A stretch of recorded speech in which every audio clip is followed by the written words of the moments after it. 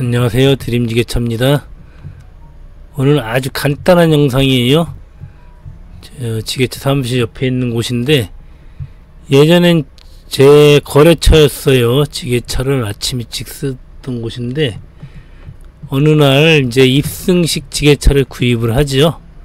그 후에 이제 제 거래처가 이제 없어졌죠. 그러나 이제 그분 사장님한테는 제가 가끔 도움을 받았었어요. 겨울에 날씨 추운 날 제 지게차를 그 창고에 보관하고 또 제가 새벽에 꺼내고 이런 식으로 도움을 받았었기 때문에 오늘 요거 이제 군환을 해드리는데 차마 그것까지 요금을 받을 수는 없겠죠. 아무리 제가 요금을 잘 받고 요금을 포기 안 하는 사람이지만 또 그렇게 비인간적이진 않죠.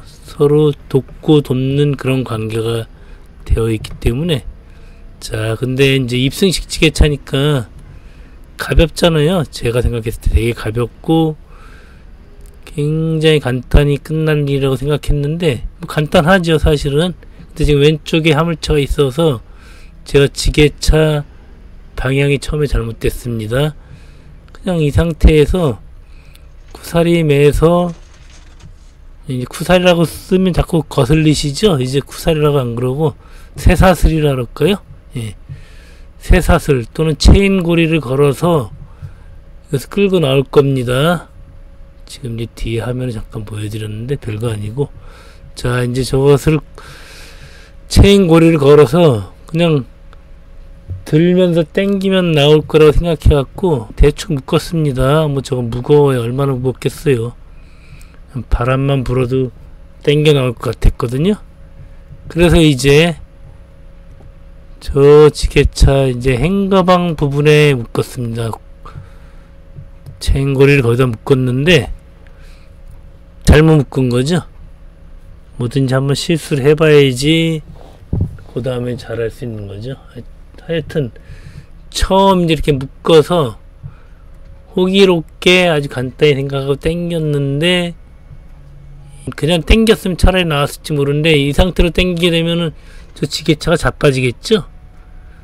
그래서 약간 들면서 땡길라 그랬는데 지게발이 같이 올라가죠. 그래서 이제 다시 들든지 아니면 뒤에 있는 화물차를 아까 그 화물차를 빼버리고 제 지게차 방향을 조금 다시 잡아서 그냥 앞으로 당겨 나올 거예요. 그게 제일 간단한 거죠.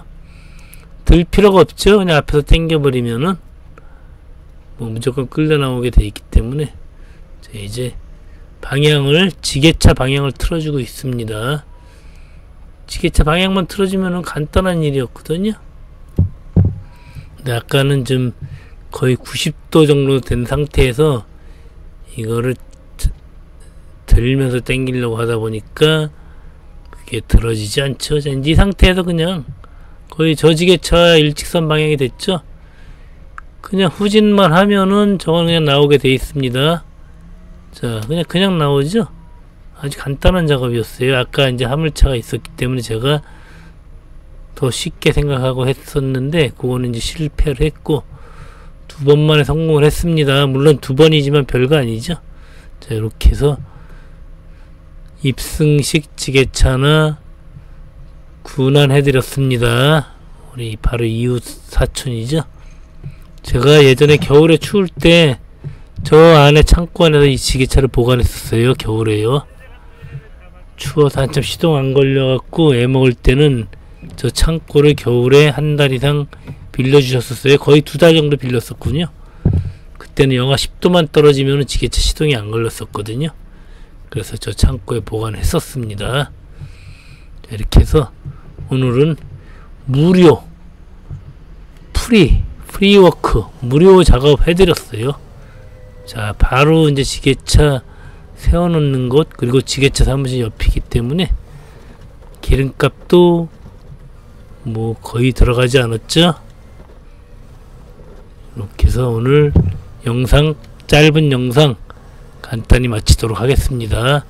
자 언제든지 안전운전 하시기 바랍니다.